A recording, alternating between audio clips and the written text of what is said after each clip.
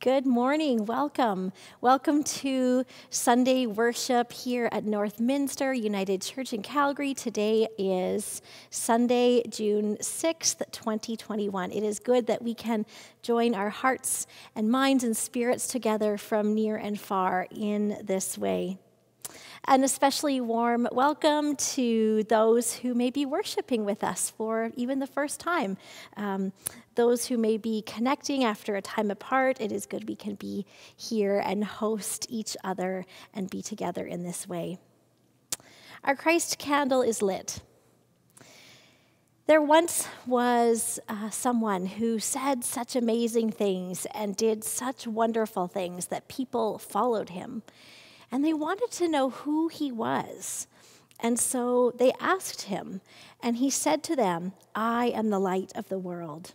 So our Christ candle is lit in symbol, in recognition, in memory, in celebration of that one. We also pause in a moment of gratitude, giving thanks that we are privileged to be here on Treaty 7 land. We give thanks for all who have cared and continue to care for this land. Let's now pause deeply and breathe deeply and focus our hearts and our minds on this time of worship.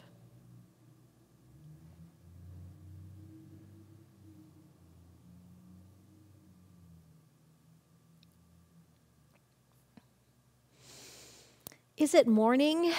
Really morning? Or is it just another day, a, a, new beginning, or is it just a continuation of yesterday? May we greet each other as gift and blessing. May we fold its promise of this day into who we will become and live to the fullness of what teachings might exist new thoughts, new ideas, new potentials, new promises. Let us now be still and know that all will be well, that in all manner of things it will be well. Our journey this morning continues with Lewis and Clark Last week, we learned how these early explorers in the early 1800s were confronted with the Rocky Mountains as they were seeking a western or a water trade route western to the west through to the Pacific Ocean. They had their worn and trusty canoes with them, but those Rocky Mountains will, as you might imagine, it would not get them over such vast new terrain. They needed, Lewis and Clark needed to find a way through this new wilderness. There wasn't one short, simple route from A to B. Nor was it simple and a direct route for Moses through his wilderness, as we'll hear today. Nor is our journey simple and short for us most of the time. Questions linger. Deep emotions in the wilderness are felt. Fresh anticipation percolates as this community gathers in this sacred place as we give thanks for the past and still look to the future. So draw in your deepest breath, knowing that you are welcomed and valued now and here. And be at peace and at one with yourself and with one with those who may be near or those far. Let us affirm on this journey in this wilderness, wherever we may be going, whatever direction, that we are not alone, that we need others and others need us to be more of who we are, to be challenged to new growth, to be fully alive. Let's pray. God of creation, your extravagant love has called us together.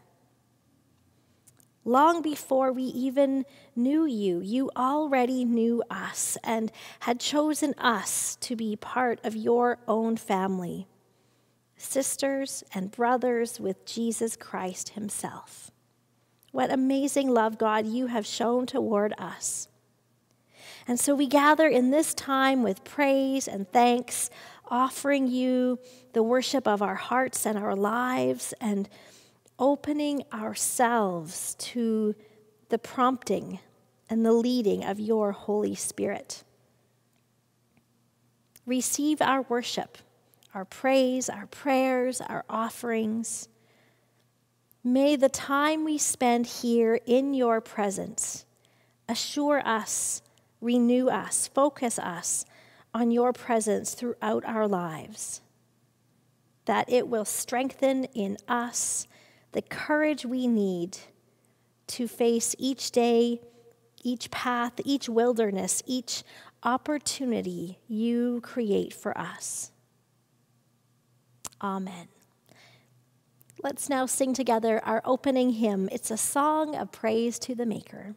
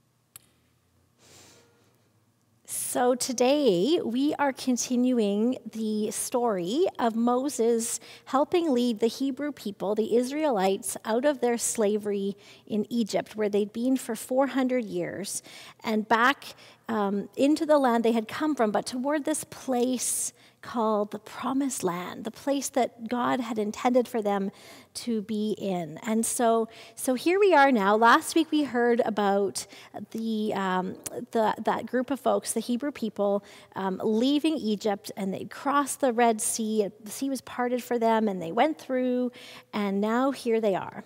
So now they're in the wilderness, and now, now if I was think if I was going somewhere I'd never been before, and it was a long journey, I would get out my phone and turn on my Google Maps, and I'd put in the address I wanted to go to, and up would come all of these options of routes for me. Usually, the most direct route is on my, my phone, or it's the route with no highways, or, you know, there's different options it gives me. I will always, almost always pick the shortest route to get to when I want to go somewhere, right? Now, you think God would have done the same thing. You think that because the wilderness was a difficult, uncomfortable, maybe dangerous even place to be at times, that God would say, okay, here's the wilderness. You need to go to B and you're at A, and we're going to take the shortest route as possible to get you where you need to go, right? But the story actually says that God chose not to take the shortest route. Exodus 13, it says, God didn't lead them through the shorter route. God led them by the roundabout way. So Craig's going to put up a picture for us. This is a map of the journey that those folks went on in our story. If you look on the very, the very left side, so the west side of the map, you will see where Egypt is, right? You see the Mediterranean at the top corner, top left corner, and Egypt's right below it on the, the left side of that map. And on the right side of the map, also toward the top, then, is the Promised Land. So if I was going to pick the shortest route on my map, you would see they would just go from Egypt straight across at the top of that map to the Promised Land. But it says God didn't take them that route. Instead, you can even see the long red line on the bottom where they actually went all the way down to the bottom of the map and all the way back up. Even Mount Sinai is down at the bottom, which is where the story of the Ten Commandments happens. So thanks, Craig. You can take that, that map off. Um, I want you to imagine now that that map is your hand. So take your hand and hold it up. And over here, where your thumb is, is where Egypt was, right? And over here on this side, where your pinky is, is where the promised land is.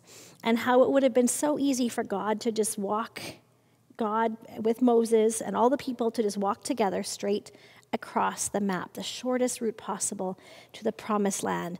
That would have been the easiest way. That would have been what Google would have said, right? But that's the way the Philistines went. So you think, oh, some have gone that route already, we could go that route too. But God knew they couldn't go that way. They weren't quite ready for that kind of route yet. There was too many challenges to go the shortest route. And so God took them from here, from Egypt, all the way down to the bottom of the map and then all the way back up. And that was a much longer route to go, almost like going in circles a little bit on the map.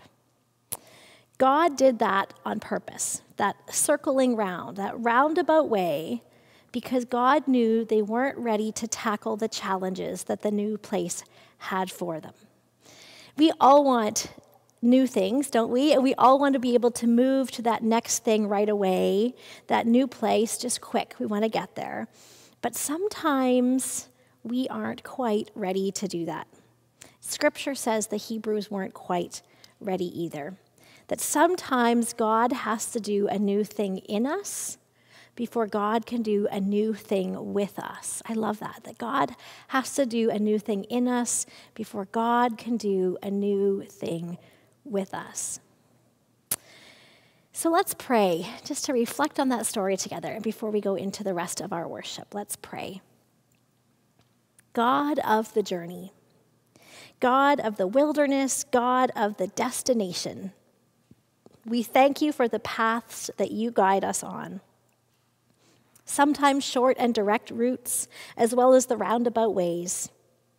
Help us to be present in those times, to explore our purpose and our calling as we circle around until the direct the direction that you have promised for us is more clear. For patience and openness and courage in the wilderness times, we pray. Amen.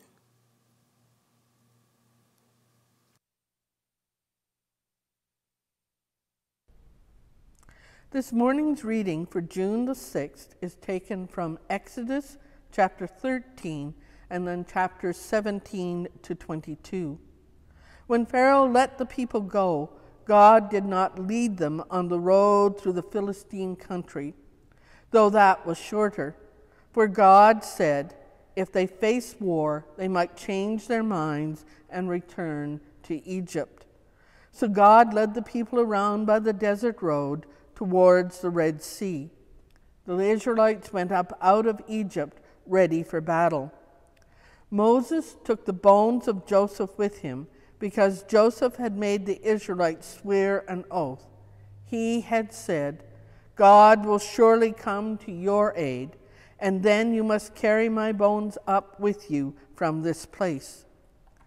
After leaving Sukkoth, they camped at Etham on the edge of the desert. By day, the Lord went ahead of them in a pillar of clouds to guide them on their way, and by night in a pillar of fire to give them light, so that they could travel by day or night. Neither the pillar of cloud by day nor the pillar of fire by night left its place in front of the people. Word of God, word of life. Thanks be to God.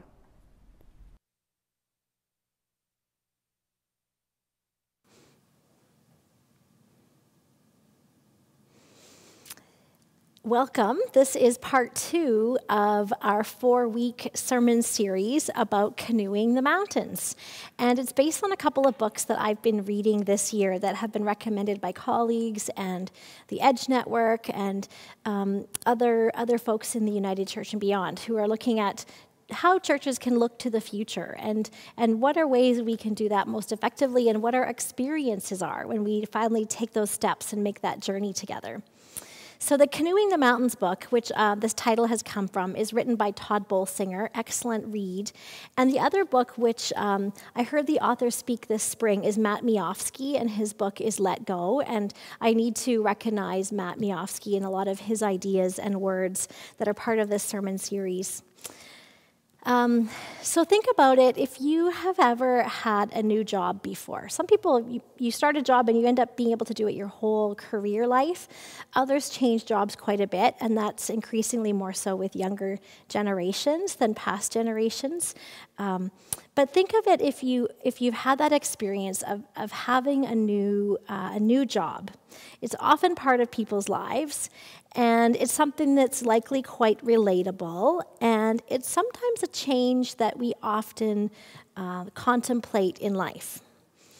And no, I am not thinking about a job change, but if I was going to do that, I would probably try to keep my current job until I had a new one or while I look for a new one, right? So while you're still in a comfortable spot, maintaining a current position, you might still apply here and there, or you might have an interview or meet the boss or take time to consider the pay and the commuting and the benefits and the what would the disadvantages be of a new position. And then finally you know if everything was lined up just perfectly and you had a, finally a really solid plan in place then you might decide to give notice or maybe take a short vacation in between and find time to move and start the new job seamlessly, right? Perfect planning, of course. but that's not a lot how change works, is it? We often get caught instead in that in between because change suddenly happens without our asking for it, and it isn't always welcomed, and we don't often know how things will turn out, and we can't see the end yet, and yet we have to leave behind what we had before. And so then suddenly we're in this, this in between space, and it can be really terrifying. And as lonely or um, disorienting as it feels, it might still be an important part of the journey. And Scripture has a name for that in between. Scripture calls it the wilderness or the desert. Last week, we, we talked about leaving Egypt, making that choice, and that place between uncertainty and promise to what the comforts of the Hebrew people were leaving behind. Today, we are talking about navigating the wilderness. So, it would have been nice, like I said in our conversation time, to just walk straight across the top of the map, right to the promised land, right out of the Red Sea, and that would have been just such perfect planning, right? But the story, as I mentioned, actually says that God chose not to take them on the short route. Instead of going straight across that wilderness, God took them out of Egypt and they went the long way, circling in the wilderness with them. There's this idea that God has to turn us into new people before God can take us into a new place. Interesting idea that that's this is what Matt Miofsky says that God has to turn us into new people before God can take us into a new place. We have to log some wilderness time. That in between space, though, is not wasted time. Doesn't that feel like it sometimes when we're going in circles or things take longer than we thought? It feels like it's just wasted time, but maybe it's not. It's instead this really important feature in what God is leading us on, that it's an intentional part of the journey. That we have to navigate the wilderness there will be or is uncertainty. And yes, in all of that, we will be afraid we're going to make mistakes or that something won't turn out the way we wanted. And our temptation in that is to want to just turn around and give up and just go back. For the Israelites, the Hebrew people, they had this rhythm, they had this routine in Egypt where, where they would sleep, what they would eat, that life was predictable. It wasn't easy, but they knew what they would do the next day when they got out of bed. But all of a sudden, in the wilderness, this primary feature is uncertainty. They didn't know where they were going or, or what their next meal would be. And soon, as soon as uncertainty crops up, then they start questioning themselves, right? We all do that. Something we're not sure of. Did we make the right decision or not? And we, we second guess ourselves. And they wonder if they'd made a mistake. And suddenly we wonder, same thing, are we making mistakes? This is exactly what happens with us, just like it did for the Israelites. It sounds so familiar. This happens in life with job changes, relationship changes, moving, any decision we make. It is so evident as well in our congregation right now as we consider redevelopment or, or moving or planning for the future and what direction is it taking, right? We, we, we know we want to and we still don't know quite what that promised land looks like, and we're in this wilderness time, and suddenly we're second guessing ourselves, and we say, Do we want to just turn back? Let's just take a pause. There's new ideas cropping up, there's uncertainty no matter what direction or possible decision might be. It feels a bit like we're going in circles, right? We're taking a longer route, but maybe we should have taken the shorter route, right? All those, all those things are just so key for us right now. But this text suggests to us that this is God leading us through it all. And that idea again that God has to turn us into new people before God can take us into a new place. And so here we are in the wilderness.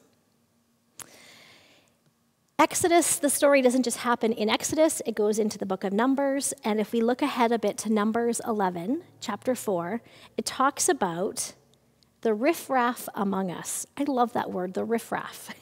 Who knew that that word was in the Bible? But it is. If you go to Bible Gateway and look through some of the translations, riffraff is the term used. Others say the rabbles, the rabbles among us. But it says that the riffraff were complaining. Who will give us meat to eat? Where will our water come from? What are we about? And they start remembering all the food and the comforts they had in Egypt. And now they say we're wasting away and there's only manna in front of us. So there's lots of frustrations and, and concerns being voiced in that text. Now, all of this, very relatable to our journey, makes reference to a few things the complaining in the wilderness because there was uncertainty and it was something they'd never faced before. And so when fear crops up, they, they turn around and they look in their rearview mirror, they look back to Egypt, and they have this distorted view, right? The objects look different in the mirror, don't they? They, they forgot about the slavery and the hot sun or the whips or the long work days or that they had no freedom. They forgot all that. They even forgot that they had prayed for 400 years to be released from all of that. They only remembered the food. They start to have selected memory. All of a sudden, Egypt wasn't so bad, and they question this new direction God is taking them on, and they get really, they get nostalgic. You know about nostalgia. We all do that. What nostalgia does, though, is it distorts our memory of the past. It makes the past look better than it really was. We do this all the time when we are nervous about the present, or we're questioning what we're doing, or we're missing something, or grieving something, or we're fearful of what's happening or what might happen. We get nostalgic. It's like a breakup, the end of a relationship you know, the relationship wasn't great for a while, whatever the reason. And so you end things and you eventually leave. But then time goes on and you haven't found anyone new and you start thinking back to that relationship and you, re- you remember the good times because you're nostalgic and you start to forget about why you broke up. And eventually you start sending a late night text. That's what the Hebrews were doing those late night texts, looking back instead of looking forward. The nostalgia was creating this unrealistic filter of what they were remembering. In the wilderness, we are always wondering if we should go back. Does that sound familiar in your own wilderness times or in this church wilderness time? Are we suddenly questioning if we're heading the right direction? But scripture says God has brought us here, this direction, for a reason. The wilderness and its uncertainty is a big part of the journey. This wilderness helps us clarify our purpose. What is it that we really want to give time to?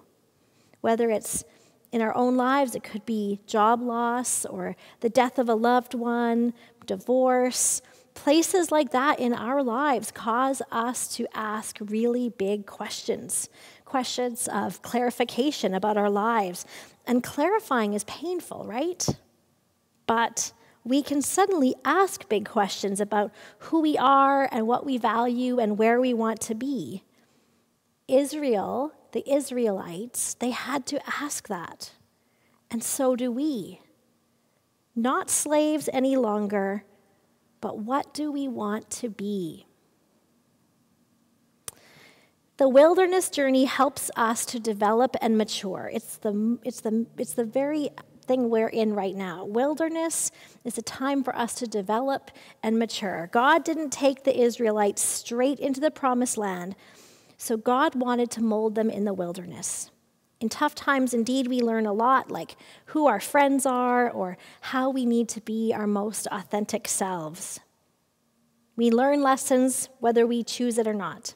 In the wilderness, we learn we can't, that we can't learn in our comfort zones. God can teach us a lot when we are out of our comfort zone, away from Egypt. It isn't wasted time and space, and a lot happens in the wilderness. The wilderness helps us rely more on God and less on ourselves, walk by faith, not by sight, right? The Israelites didn't know where they were going. Moses kind of didn't either. So they follow God as a pillar of cloud by day, as, as fire by night. It's important to do this instead of relying on ourselves, finding new, new ways, new insights, new symbols of what God is and where God might be leading us. That's what faith is forced to rely more on God and less on ourselves. When we seek to make a change in our lives by force or by choice, whether either way, however change comes about, when we are suddenly out of our comfort zone and into the uncertainty, and everything you, everything in you, is going to make you want to run back to that familiarity. But scripture is saying, don't do that. as hard and frustrating and disorienting as that is, God is wanting you there. God is preparing you for something great, and God has not abandoned you, no matter what you may be feeling in this wilderness. Israel is the Israelites felt like they were circling over and over on that map, but the whole time God was working under the surface in them, preparing them for what was next. So if you ever feel like you're stuck in a holding pattern in those circles, you feel like you're wasting time, never think of it as wasted journey. God is perhaps preparing you for the next leg of the journey. Like the scripture from Romans 26 says, God is never abandoning us, but we are being used by God. So, to end the sermon time, let's just listen to these words from Romans. I encourage you to listen to them prayerfully, reflectively, as we um, consider and remember the value of this wilderness time we are in and what we might be called to next. So it's from Romans chapter 8, and there's a few verses 26 to 28 and 38 and 39. In the same way, the Spirit helps us in our weakness. We do not know what we ought to pray for, but the Spirit intercedes for us through wordless groans. And the one who searches our hearts knows the mind of the Spirit because the Spirit intercedes for God's people in accordance with the will of God. And we know that in all things God works for the good of those who love God, who have been called according to God's purpose. For I am convinced that neither death nor life, neither angels nor demons, neither the present nor the future, nor any powers, neither height nor depth nor anything else in all creation will be able to separate us from the love of God that is in Jesus Christ our Lord. Amen. Let's now sing together our next hymn that the Strathdys are leading for us.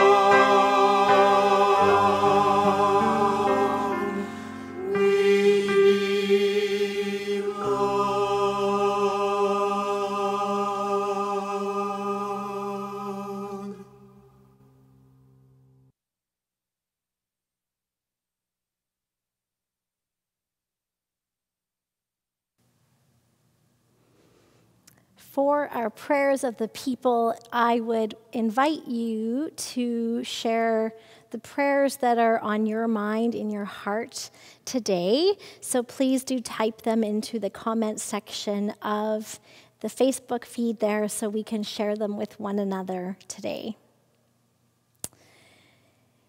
Let's pray. You, O oh God, love us from the moment of our conception. You know us, you love us in the womb, you love us, and you call us from before the moment of our first breath. And you love us when we first see the light of day. As a parent loves a child even before they see it, and then embraces it gently from the moment of birth so you love us, and we give thanks. You love us, God, from the time of our naming. You love us in our growing and holding us as we take our first steps. You love us and walk beside us as we explore the world with eager hands and eyes and as we grow and develop. Help us, dear God, to love one another in this way. You love us, God, as we mature and seek our way. You love us as we become aware of the world around us. You love us as we smile and play. You love us when we say no and when we lose our sense of direction. Help us, dear God, to love one another in this way.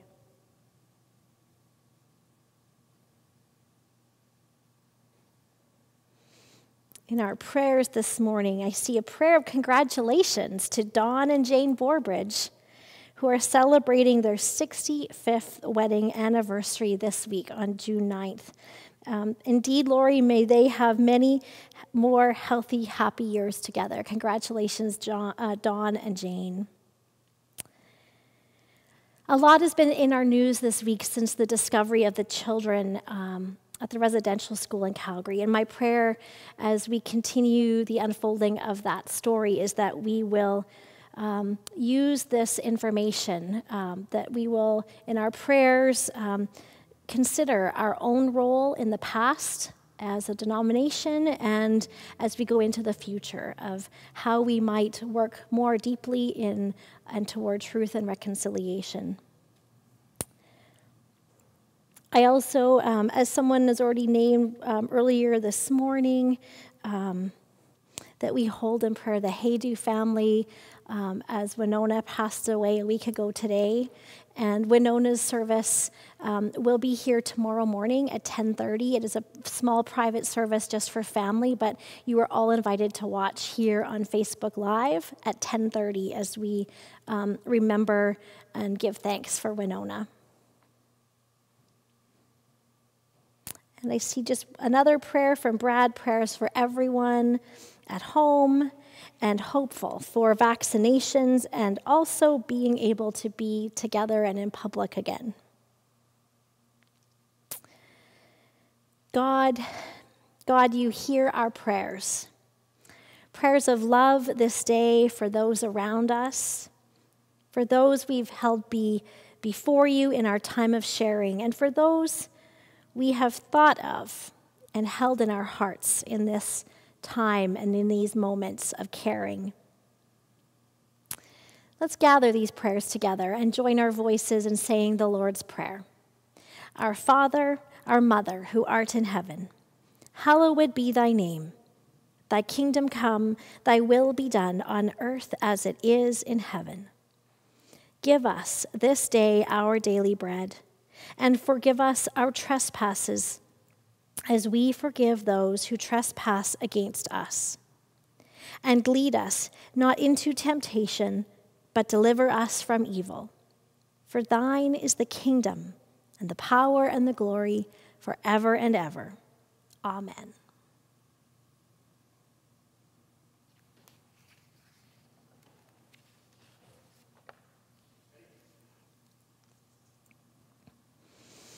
Our offering, a time of gratitude, a time of giving thanks for the ways God is at work in our world. And our offering is a symbol of that gratitude and our giving back a portion in hope for what is possible in our shared ministry together with God and into the future.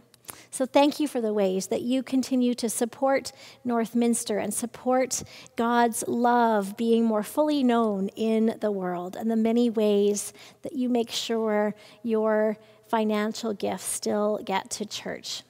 Let's pray to bless these financial gifts and the many ways we express our faith in our lives. Let's pray.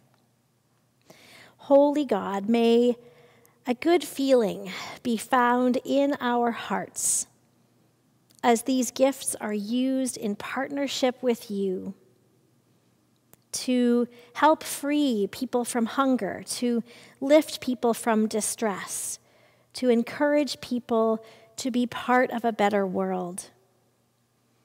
May our offerings and the gifts of our life guide people from wilderness to promised land with you by their side. Amen. A few announcements this morning. Of course, take time to read all of the announcements in the weekly Friday email. Maybe even give someone a call who you know might not get the emails and share with them. Be, um, be an agent, a messenger of good news, and tell them what's happening at the church. Thank you if you're able to do that. We have coffee today after church, as usual, on Zoom. If you don't have the link, message me, email me, phone me, and I will make sure you have it. So we can drop in between 11:30 and 12 for conversation.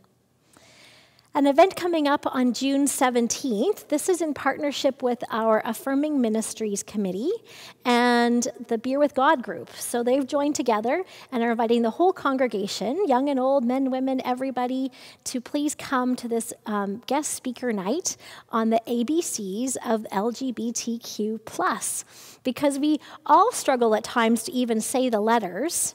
And sometimes we say, now, what do those letters even mean? And so it's a great information night with guest speaker Kieran McKee, who will be walking us through some of those questions we have around all the letters and what they mean and what they represent. So, because knowledge, knowledge is really important for us.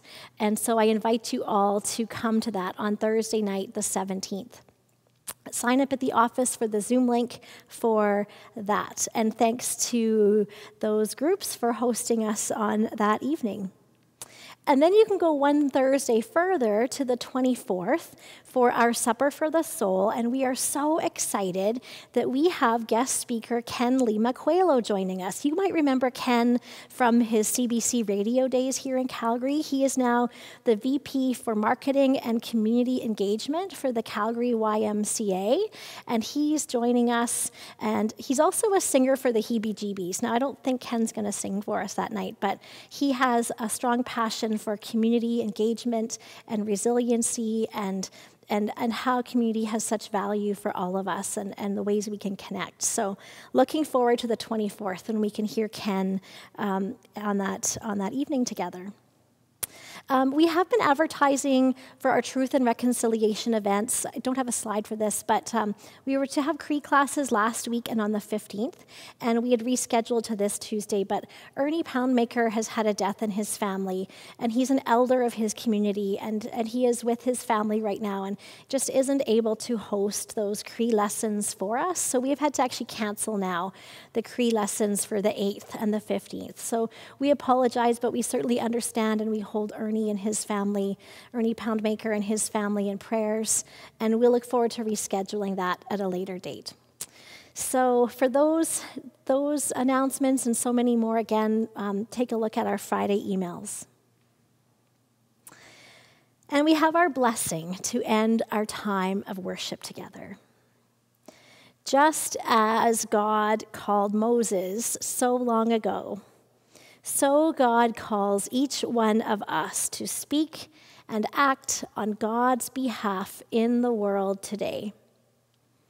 So through the wilderness we go, discerning the path forward. Walk well on your journey. May you be wrapped in the shawl of God's loving, and may you know you are cherished, and may you know you are blessed. Amen. Thank you for being here for worship together here today. We will see you again soon, and we'll now go out singing together Spirit God, be our breath. Bye for now.